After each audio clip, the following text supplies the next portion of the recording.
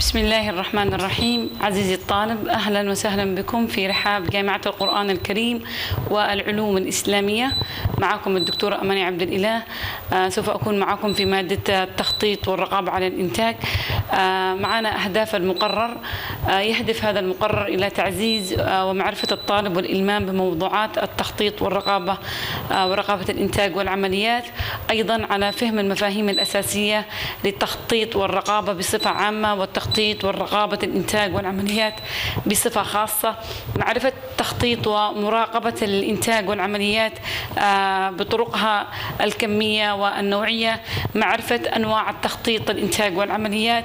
معرفة الفرق بين تخطيط الإنتاج والعمليات سواء كان المستمر أو المتقطع. ومعرفة طرق قياس الإنتاجية وتحسين الإنتاجية. المحاضرة الأولى سوف تكون بعنوان طبيعة تخطيط الإنتاج والعمليات. سوف نتطرق إلى هذه المحاضرة مفهوم التخطيط والإنتاج والعمليات العلاقة بين تقدير حجم الطلب على السلع والخدمات وتخطيط الإنتاج والعمليات. أهمية أيضا التخطيط وإنتاج العمليات والإنتاج والعمليات أنواع تخطيط الإنتاج والعمليات البيانات والمعلومات اللازمة لخطط الإنتاج والعمليات خصائص خطة الإنتاج والعمليات. سوف نتطرق في البدء إلى مفهوم تخطيط الإنتاج والعمليات. ماذا نعني بتخطيط الإنتاج والعمليات؟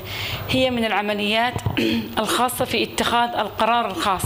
اتخاذ القرار له أنواع ولكن القرار الذي سوف نتخذه في هذه في هذا الموضوع هو القرار الذي يخص حجم الإنتاج من السلع والخدمات والموارد الإنتاجية التي سوف تحتاجها المنظمة مستقبلا لإنتاج السلع وتقديم الخدمات بالكمية المطلوبة. المطلوبة المضبوطة بالضبط وفي الوقت المناسب بالضبط.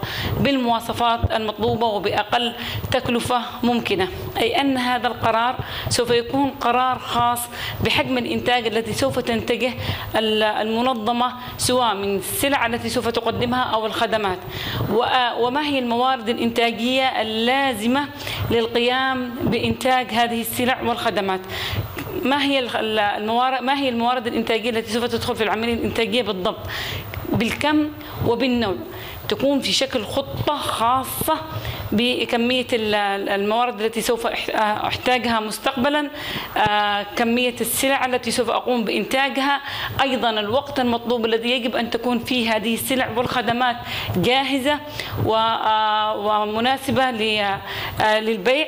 أيضا المواصفات التي سوف أنتج بها هذه المنتجات وأيضا التكلفة والتي تعتبر من أهم النقاط في تخطيط الإنتاج والعمليات.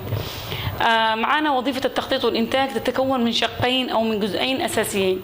الجزء الأول مرتبط بالترتيب الداخلي للمنظمة أما الجزء الثاني مرتبط بتخطيط المسار. طيب الجزء الأول الذي هو مرتبط بالترتيب, بالترتيب الداخلي للمنظمة ماذا نقصد بالترتيب الداخلي للمنظمة؟ الترتيب الداخلي للمنظمة هو عبارة عن خطة يمكن من خلالها الحصول على أفضل وضع للتسهيلات المادية والمتمثلة بمحطات التشغيل ومراكز الإنتاج ومناطق الانتظار والتخزين والصيانة. شيء تخطيط داخلي للمنظمة نفسها موجود في المنظمة نفسها يساعدني على إنتاج هذه المنتجات. بمعنى أني أتفقد محطات التشغيل اللي أنا سوف أشتغل عليها مراكز الإنتاج اللي هي خطوط الإنتاج أيضا مناطق الانتظار وأين سوف يتم التخزين والصيانة على هذه الآلات والمعدات ومحطات التشغيل. الجزء الثاني اللي هو مرتبط بتخطيط المسار وهو تعاقب مهام العمل الواجب القيام بها لإنتاج منتج معين أو تشكيلة من المنتجات أو تقديم خدمة معينة أو مجموعة من الخدمات. وظائف تخطيط المسار زي ما هو موضح في الشكل عندنا اللي هو الوظيفة الأولى وظيفة المسار. الوظيفة الثانية بتكون وظيفة التحميل والوظيفة الثالثة وظيفة الجدولة والوظيفة الرابعة وظيفة إصدار أوامر الإنتاج. طيب العلاقة بين تقدير حجم الطلب على السلع والخدمات وتخطيط الإنتاج والعمليات. ما هو المفروض أن تكون في علاقة مترابطة بين إني أنا أقدر حجم الطلب على السلع والخدمات وبعدين أعكس هذا في تخطيط الإنتاج والعمليات. تهدف إلى تحديد عدد نوع من السلع والخدمات المنوي إنتاجها أو تقديمها من قبل المنظمة. لما أجي أقدر حجم الطلب لازم وأنا أقدر حجم الطلب إني آه، يكون عندي هدف إني أحدد كم العدد الكم من آه، من إنتاج السلع وأيضا نوعية هذه السلع. فيكون عندي كما ونوعا تحديد عدد ونوع السلع أو الخدمات المنوي إنتاجها آه، أو تقديمها من قبل المنظمة في فترة محددة أنا أحددها. النقطة الثانية تهدف إلى تحديد طبيعة السلع والخدمات ومعرفة إمكانية إنتاجها اقتصاديا. كيف أنه آه، أستطيع أني أنتجها بطريقة آه، اقتصادية وبجدوى اقتصادية. النقطة الثالثة ضرورية آه، ضرورية لتخطيط النظام الإنتاج وتشغيله والرقابة عليه. المفروض أني أعمل خطة لنظام الإنتاج عندي.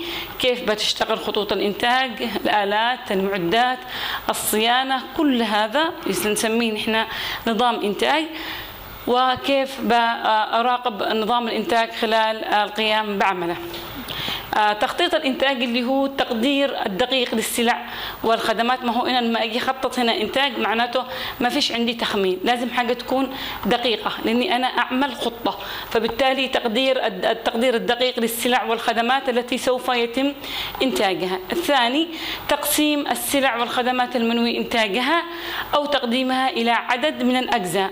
يعني كذا أعملها على شكل دفعات واقسمها على شكل من من على شكل من دفعات معينة ومن ثم أقوم بالبدء في إنتاجها. تقدير حجم الطلب يعتبر المدخل السليم لتخطيط الطاقة الإنتاجية والموارد الإنتاجية.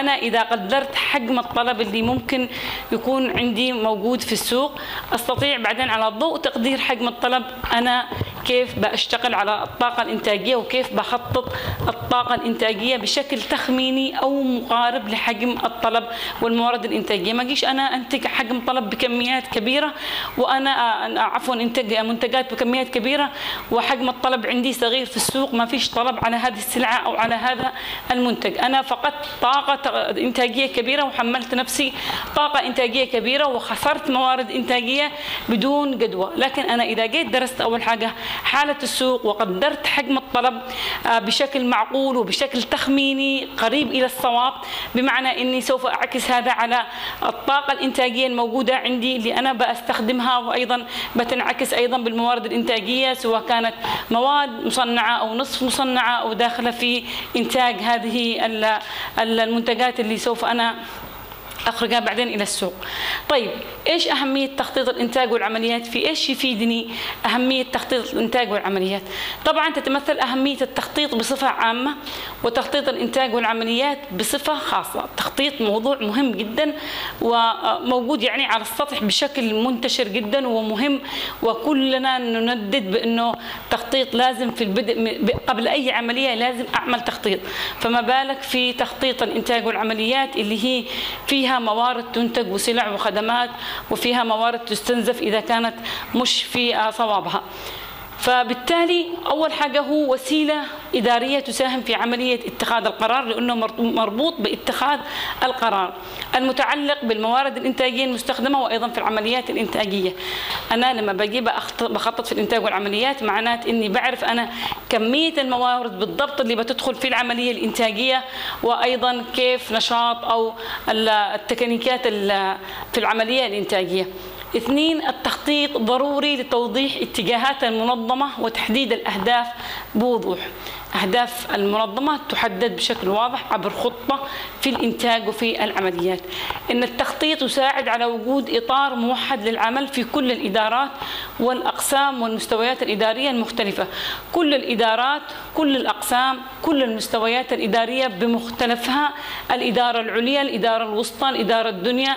الموظفين في جميع الإدارات يمشوا عبر خطة واضحة في قسم التخطيط الإنتاج والعمليات. يساعد على اكتشاف الفرص. إذا كانت في هناك فرص ممكن أنا أستقل هذه الفرص وأطور من رأس من رأس المال وأزيد من الحصة السوقية وبالتالي الأرباح وأيضا تخمين المخاطر المستقبلية التي قد تواجه المنظمة أو المؤسسة سواء كانت على المدى القريب أو البعيد. وأيضا يحدد لي الوقت اللازم لتنفيذ كل جزء من أجزاء العمل وربطها ببعضها البعض مما يؤدي إلى تحقيق أفضل النتائج. فيمكنني من حاجة اسمها أني آه، أنتج إنتاج صحيح في وقت مناسب ومحدد بدل الهدر من الوقت وبالتالي الهدر من الوقت يخسرنا فرص كثيرة وأيضا يحملنا تكاليف كبيرة. ضرورة ضرورة حتمية لمعرفة المشاكل والمعوقات المتوقع حدوثها والعمل على حلها أول بأول. وأنا أخطط في قسم الإنتاج والعمليات تظهر لي المشاكل اللي ممكن قد تحدث. وأيضا آه، أحاول إني أعمل لها حلول سريعة ومعالجات سريعة. يساعد على التقلب على حاجة أو مرحلة اسمها مرحلة أو حالة عدم التأكد. وخاصة إن المنظمات تعمل في بيئة غير مؤكدة وغير مستقرة وتقنيات حديثة وتكنولوجيا متسارعة. آه، فبالتالي آه، يساعدني على إني أواجه كثير من التحديات التي قد تطرأ علي. التخطيط يسهل عملية الرقابة فبدون التخطيط لا تتم عملية الرقابة. وطبعا هذه قدها يعني معروفة من زمان إنه التخطيط متصل اتصال كان بالرقابة. إذا في تخطيط وما فيش رقابة ما فيش أي ما فيش أي عمل بيشتغل بمسارها الصحيح. التخطيط والرقابة عمليتين متتاليتان تمشيان في نفس المسار. تخطيط لازم تتبع عملية كنترول أو رقابة شديدة لأنه الرقابة هي اللي بتوضح لي المشاكل بتوضح لي الصعوبات التي قد تواجه وأيضا بتوضح لي سير العملية الإنتاجية كيف تسير إيش مسارها الصحيح أو آه، أي معوقات قد تحدث آه، لها. وأيضا يجب أن نوضح أو نضع المعايير الأساسية والمهمة في عملية الرقابة. طيب إيش أنواع التخطيط؟ معانا التخطيط طويل الاجل ومعانا تخطيط متوسط الاجل ومعانا تخطيط قصير الاجل طيب نجي للنوع الأول اللي هو التخطيط طويل الأجل. طبعا من المسمى أو من تركيبه من تركيبة الاسم اللي هو تخطيط طويل الأجل. طبعا هذا التخطيط يتضمن تحديد مستويات الإنتاج في في فترات قادمة بشرط أنها تزيد عن العام لأنه تخطيط طويل الأجل معناته طويل الأجل. معناته الفترة الزمنية بتاعته طويلة بتكون. ويعرف هذا التخطيط باسم تخطيط الطاقة. لأنه يتعلق بتحديد حجم الطاقة اللازمة واختيار مستوى معين من الطاقة مثل اختيار حجم المصنع اللي هو عدد المكان الماكينات اللي ممكن أنا أستخدمها. يعني لما نحن نقول تخطيط طويل أجل معناته أني أقول أنا اسم آخر له بين قوسين تخطيط الطاقة. إيش معنى تخطيط الطاقة؟ معناته الطاقة اللي بتشغل المصنع نفسه. كيف تتشغل طاقة المصنع نفسه؟ عن طريق إيش؟ عن طريق آه، المكانات الموجودة فيه عن طريق تركيبته نفسها تركيبة المكان نفسه سواء كان مدرسة بينعكس في عدد الفصول في المدرسة. إذا كان مستشفى طاقته بتكون عدد الحجرات في المستشفى أو عدد الآلات والمعدات اللي يستخدمها. هذه الطاقة اللي هي الطاقة معناتها الحاجة اللي تشغل لي المكان أو تشغل لي المستشفى أو المصنع أو المدرسة أو أو أو.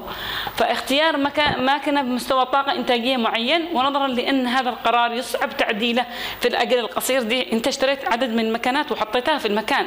يعني انت اشتريت مكانات خسرت تكلفة كبيرة عليها فبالتالي هذا من القرارات الصعب انك تعدله فبالتالي يجب أن تكون هذه القرارات صحيحة بالذات في التخطيط طويل الأجل تكون مدروسة قبل أن نقدم عليها. فاختيار مكانه بمستوى طاقة إنتاجية معينة ونظرا لأن هذا القرار زي ما قلنا يصعب تعديله في الأجل القصير فإن المنظمة لابد أن تتحمل نتائج أيضا لفترة طويلة. إذا القرار غلط أنت بتجلس تدفع التكلفة لفترة طويلة طول مدة اتخاذ القرار هذا. معانا مثال مثل اختيار حجم معين للمصنع عدد الماكينات أو المكنة بمستوى طاقة معين اختيار حجم معين لمبنى مثل عدد فصول المدرسة أو عدد الحجرات المستشفى. تتحمل المنظمة نتيجة هذا القرار لفترة طويلة زي ما قلنا لأنه يصعب تغييره برضه خلال فترة طويلة. النوع الثاني اللي هو التخطيط متوسط الأجل وهو يتعلق بتخطيط الإنتاج لمدة عام مع تفصيل لكل شهر. إني أنا أعمل كل شهر التفصيل حقه. ليس من الضروري أن تبدأ الخطة في أول عام وتنتهي في آخره. لا قد تستمر الخطة ستة سبعة ثمانية شهور على حسب ما أنجزتها أنا. يتسم هذا من النوع من التخطيط بانه يتضمن تقديرات إجمالية لمستويات الإنتاج والعمالة والمخزون. ركز معي. في, المست... في التخطيط الأول كنا زي ما قلنا تكلمنا على إنه مسؤول على الطاقة. حتى ممكن نقول عليه إنه تخطيط الطاقة. لكن هنا لا. هنا تقدير متوسط الأقل معناته إني أنا بشتغل على مستوى الإنتاج بشتغل على مستوى العمالة وبشتغل أيضا على مستوى المخزون. شوف من الأكبر إلى الأصغر. هناك الطاقة. تركيبة المستشفى كامل. لكن الآن بدأنا ندخل نتعمق. ندخل إلى حاجة اسمها إنتاج حاجة اسمها عمالة مخزون لكل فترة خلال العام. كم أنا بحتاج؟ من الإنتاج أو من خطوط الإنتاج بشغلها خلال هذا العام. كم بحتاج من العمالة؟ وأيضا كمية المخزون اللي بتكون معي خلال فترة العام. وعادة ما يكون هناك مقياس عاما أو وحدة قياس يمكن استخدامها في تقدير الإنتاج الإجمالي. مثال في صناعة البترول يمكن استخدام البراميل لتقدير إجمالي الإنتاج. يعني لازم تكون عندي وحدة أنا أقيس بها. في الصناعات المعدنية يمكن نستخدم الطن وهكذا. التخطيط قصير الأجل وهو يتعلق بالتخطيط التفصيلي لفترات إنتاجية تقل عن شهر حتى تصل إلى دقائق ويطلق على هذه العملية عملية الجدولة لأنها تنطوي على جدولة استخدام إمكانيات إنتاجية لإنتاج أكثر من طلبية أو أمر أو أمر إنتاجي في نفس هذه الفترة الإنتاجية. طيب إيش البيانات والمعلومات اللازمة لخطط الإنتاج والعمليات؟ طيب عندما أقوم أنا بإعداد برنامج أو برامج للإنتاج وسياقتها. يتطلب مني الأمر إني أوفر مجموعة من البيانات أو مجموعة من من المعلومات عشان أنا أعد البرنامج هذا اللي هو البرنامج الإنتاجي أو أسيقه. في معي عدة معلومات أو بيانات يجب إني أنا تكون متوفرة عندي. المعلومة الأولى أو البيان الأول هو معرفة حجم الطاقة الإنتاجية المتاحة لكل وسيلة من وسائل الإنتاج أو لكل قسم من أقسام الإنتاج. كل قسم من أقسام الإنتاج أو كل وسيلة من وسائل الإنتاج سواء كانت آلة أو خط إنتاجي أو أي شيء لازم أنا أعرف حجم الطاقة الإنتاجية المتاحة لها بالضبط. اثنين معرفة حجم الطاقة الإنتاجية الضرورية لتنفيذ خطط وبرامج الإنتاج المقررة. سواء كانت خطط طويلة الأجل أو قصيرة الأجل أو متوسطة الأجل لازم أني أحدد حجم الطاقة الإنتاجية الضرورية لتنفيذها. النقطة الثالثة توزيع الطاقة الإنتاجية المتوفرة اللي هي موجودة معي الآن حاليا. أقسم هذه الطاقة الإنتاجية المتوفرة على حسب متطلبات العملية الإنتاجية. أخصص جزء منها للآلات أخصص جزء منها للأيدي العاملة أخصص منها جزء للمخزون. المهم وفقا للأولويات الموضوعة لإنجاز الفعاليات المختلفة.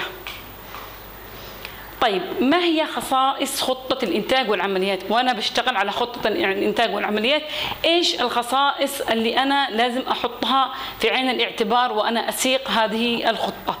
طبعا يجب أنها تتصف بعدة بعدة خصائص. الخاصية الأولى وأنا باقي بقراها أو بطلع عليها أنها تتسم بوضح بالوضوح والفهم. تمام؟ من قبل القائمين بوضعها وتنفيذها. اثنين ضرورة تحقيق درجة عالية. من القبول للخطة من قبل القائمين على تنفيذها لضمان تعاونهم وتحمسهم لتنفيذها. يعني اللي بيسيق الخطة شخص ثاني واللي بيجي بينفذ الخطة أطراف أخرى.